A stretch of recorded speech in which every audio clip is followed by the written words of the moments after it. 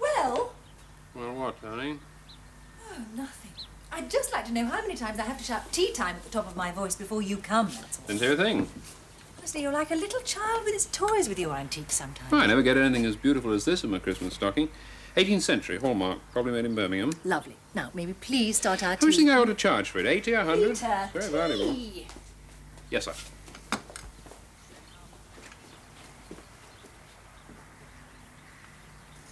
Leave some for Tom, darling.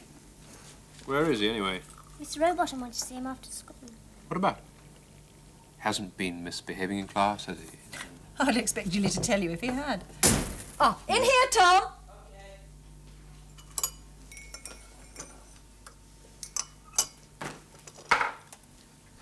And...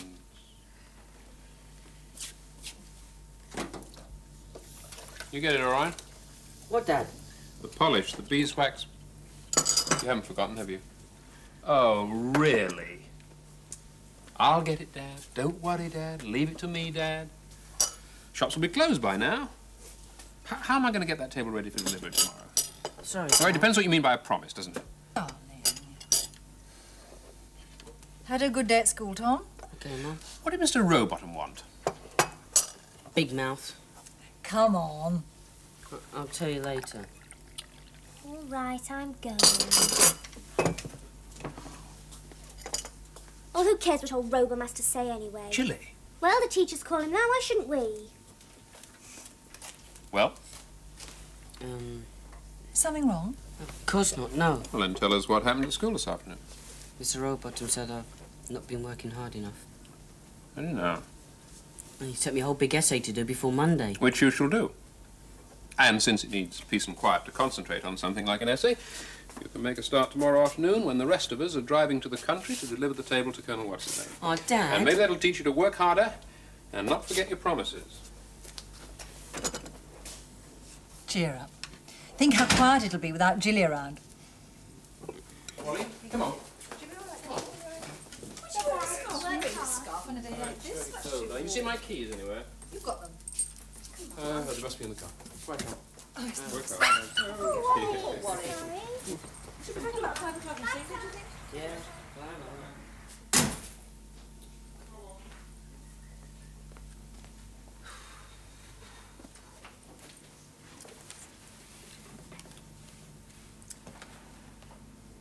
No,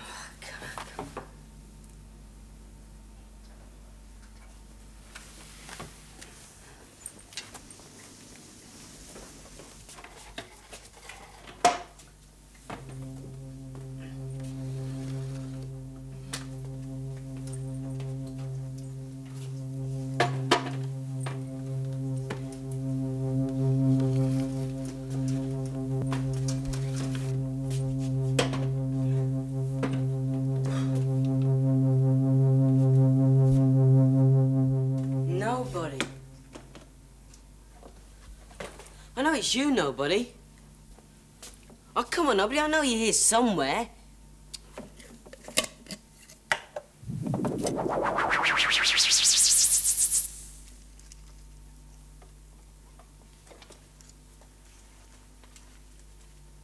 Hey! Pig. Good, yeah? Oh, very funny. What you doing here anyway? What do you mean what you're doing here anyway? It's my house, mate. I meant here now, this afternoon. Else to do. I saw you sitting over there, so I thought I'd have a bit of fun. What are you doing? I thought I'd be out with the others.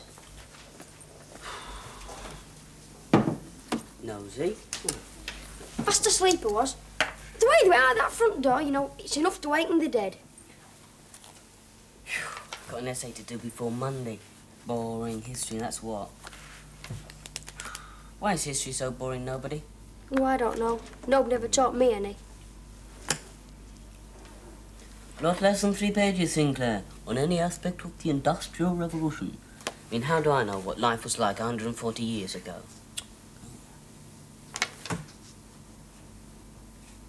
You tell me. We'll do it together. What are you talking about now? Exactly as it happened. What it was like then before you went and died. Just a workhouse, that's all. Oh, what was it like? Listen, go upstairs and play your model railway? No, we can't. Dad'll kill me if he comes back and find I haven't done any work. Oh, come on, Nobby, you've got to help me, please. Just lived there, about 40 of us. The History of Cornerstones by Tom Sinclair. The house where I lived was once a workhouse. You haven't told me what it was like yet. We just sent us here, didn't they? Well, did you like it? You're a bit funny you sometimes, aren't you? Well, it's a nice house, isn't it? Wasn't this house stupid, not this one? Wait a minute, Dad's got an old photograph in the shop. The one that I found. Come on.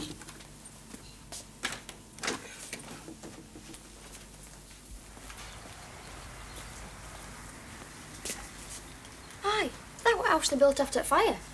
Was there a fire? Oh, aye, big one. Lit up town for most at night.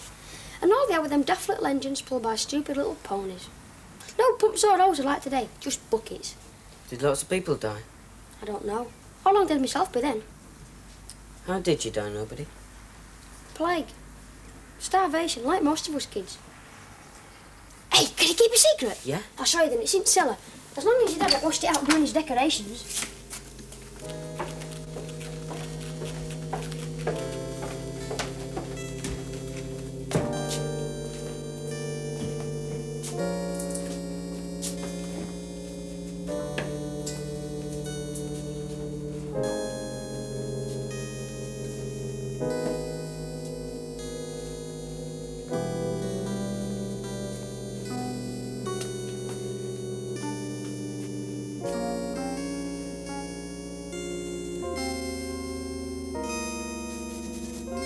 Is, look, my mark. What do you mean, your mark? Don't they teach nothing at that posh school of Look, yours? just tell me, that's all.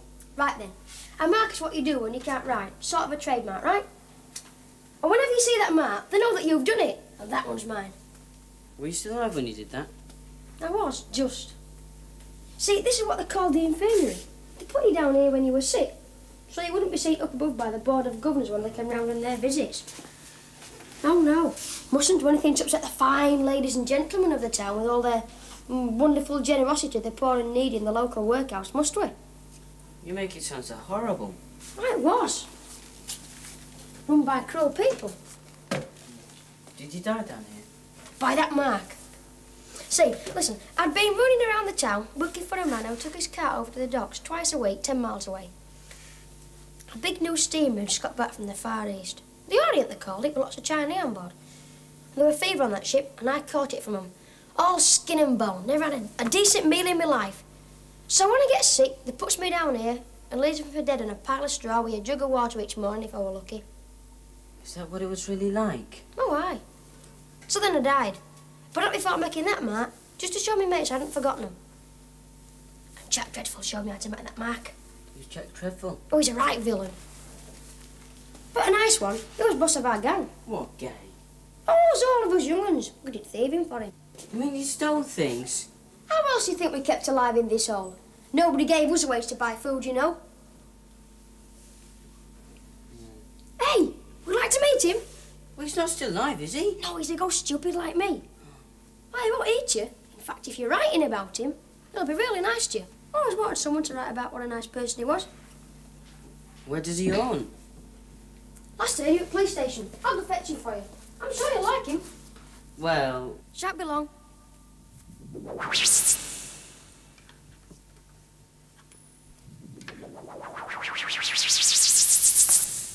Come on, he's here. I've got him for you. Hurry up, let's come in.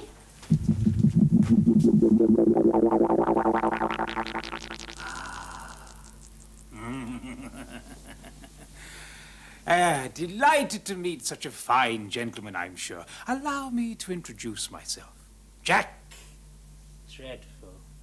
Friend to them who has no friends, and, uh, a burglar extraordinary.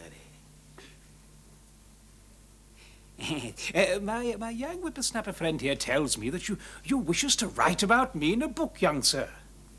Uh, an, an exercise um, book. Oh, the size of the book don't matter to me one jot, young sir, as long as it is a book. Anything to set their miserable parish records straight since our apprehension by the constables.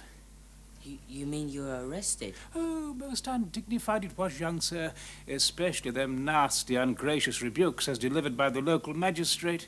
Oh, hey, Uh, yes, Jack. Oh, I'll, I'll write about you, right, Mr. Treville. In fact, nobody's been telling me about some of your adventures already. in that case, young sir, you shall have this back again.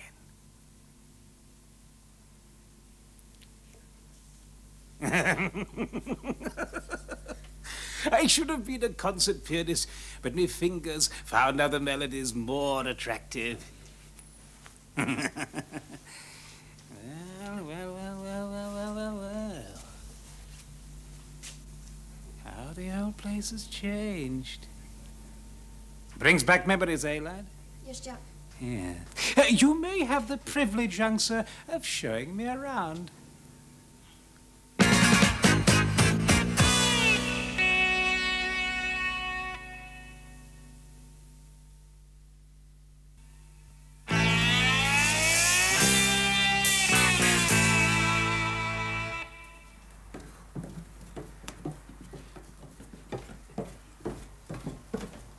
And um, down here's my father's shop. It's most interesting. Very nice, young man.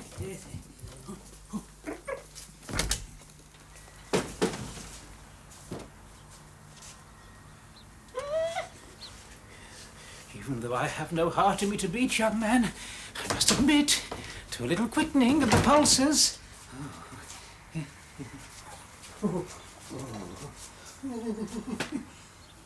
yeah. He must be in the trade, is he not? Um, antiques, yes. no, no, no, no, no. I, I, I mean a man in my own profession, a, a man after my own calling. He doesn't thieve, Jack. Yeah, disappointing.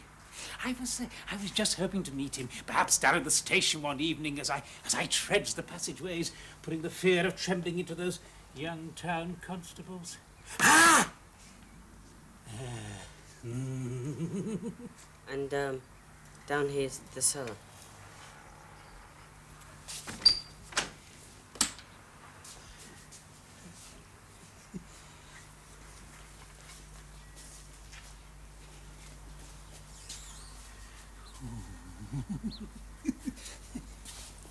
I don't trust him an inch. That's why he's the best in the business.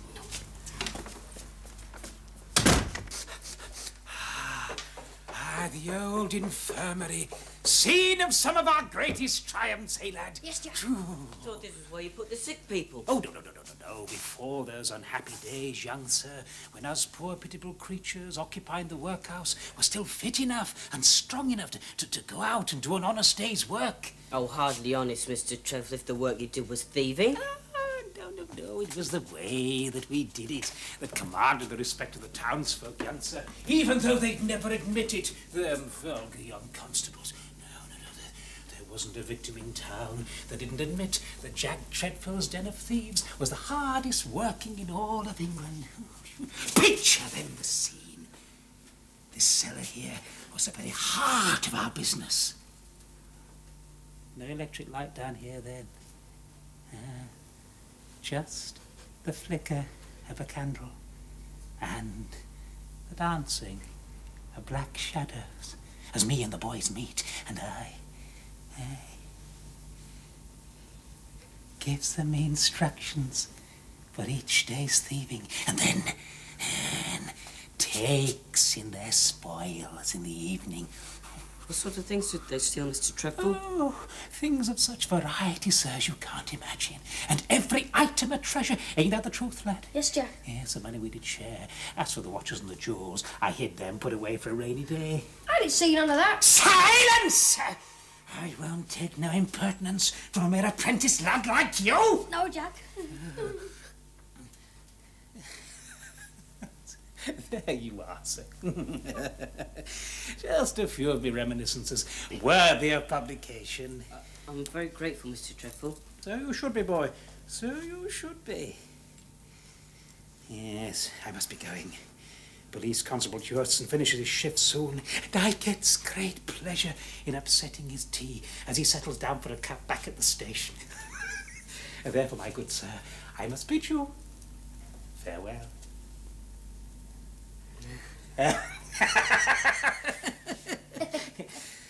A word with you upstairs before I leave? Yes, Jack. See you later.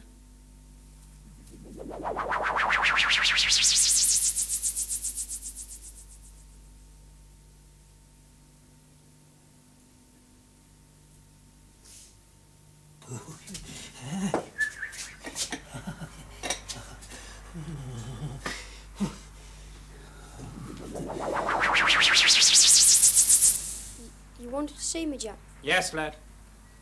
A question of my fee. What fee, Jack? Now, you don't suppose that I comes all this way and tells all those tales to the young sir for nothing, do you? No. I need a rewarding lad. What, what with Jack? That.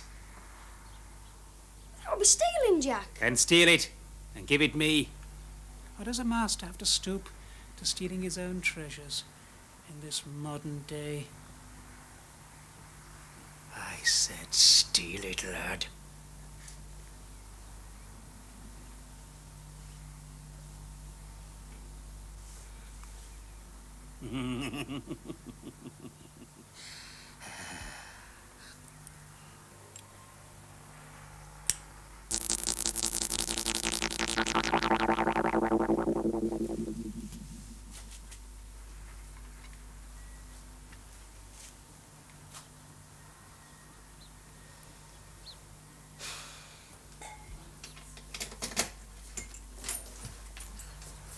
Tom. Hello, Tom.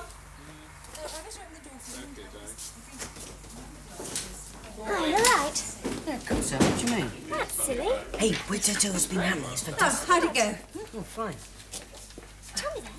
Tell me then. Oh, um, well, nobody came, right? Finish it all right? Oh, yes, I did ten pages. By Very yourself. good. Well Tom. done. Have you moved that silver snuff box? Um, no, Dad? Oh, no. Oh, what's wrong? It's gone. It's probably hidden under some of the mess It's in there. gone, darling.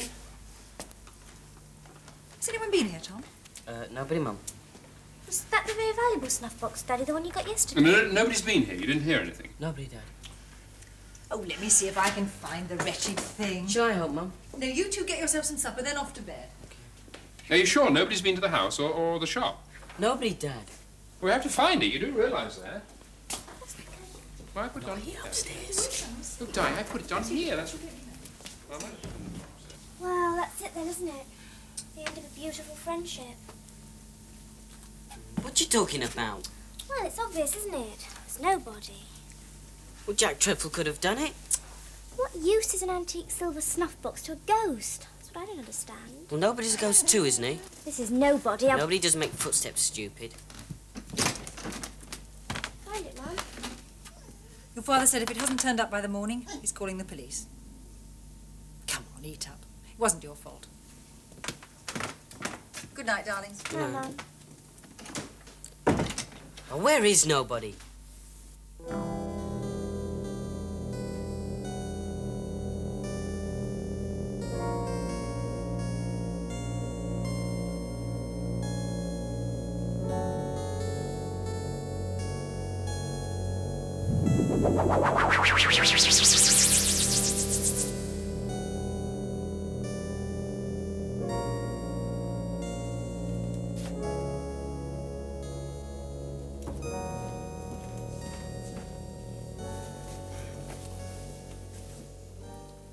Nobody, where have you been? Jilly, he's in here. Well, come on. What have you done with this snuff box? He made me take it. Payment, he said, for all those things he told you. Made you steal it? What do you mean? Can't you stand up for yourself anymore? He'd have killed me if I hadn't done. Could he have killed you, stupid? You're already dead. Oh, shut up, Jilly. Nobody, did you know where he's taken it? No, I'd get it back if I did, wouldn't I? Hmm. Nobody, if a ghost takes something that's real, can he make that invisible too? No, what's real is real. Hmm. So he would have hardly have taken it back to the police station, would he? It's got to be in the cellar.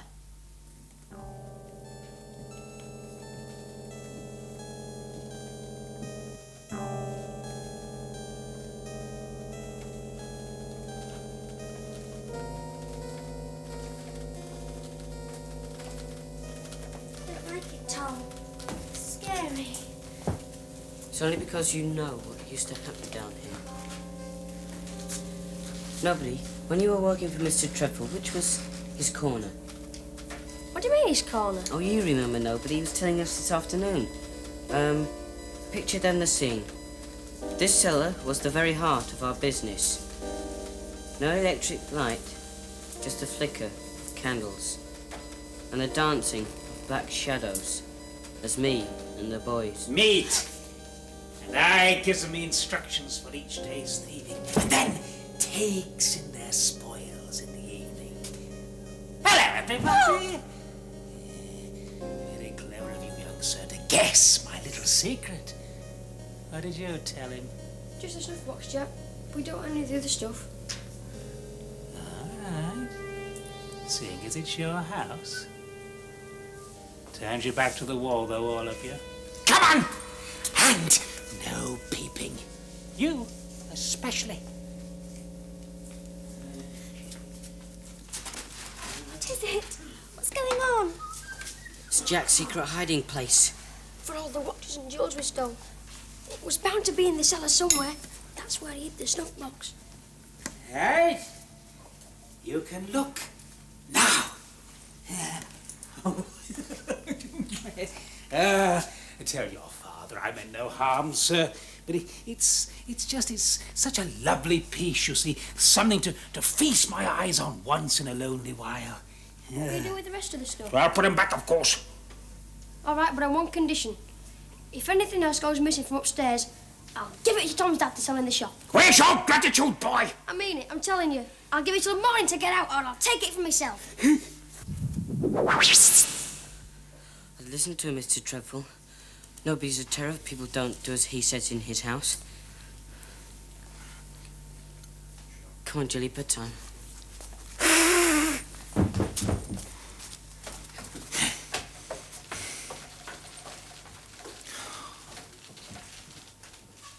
I just don't understand it. When I got down this morning, there was the snuff box, almost exactly where I left it. Sounds to me almost as if Jack Treadful's been paying us a return visit. How do you know about Jack Treadful, Mum? I've been reading your story, darling. Not a story, it's real. No, it's very real in your essay, Tom. It's very good. Oh, it is. I've uh, got one criticism, though. What's that? The handwriting's terrible. Well, nobody's perfect.